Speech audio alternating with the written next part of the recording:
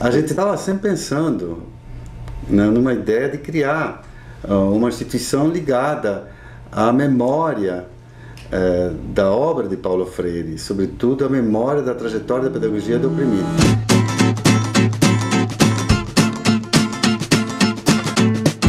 Trinta anos de IPF, aí está consolidada um pouco a nossa, nossos 30 anos de, de utopias concretas, algumas delas realizadas nos projetos que nós fizemos. Né?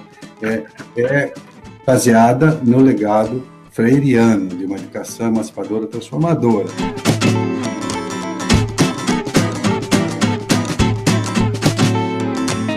Isso durou uns seis anos, de 85 a 1991.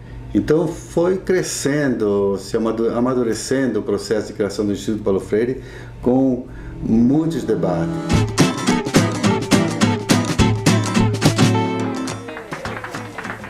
Paulo Freire foi um grande educador brasileiro que dedicou sua vida à causa dos oprimidos e dos esfarrapados do mundo. Paulo Freire, um sujeito sensível, né? ele é uma pessoa criativa, pessoa ousada, pessoa inquieta.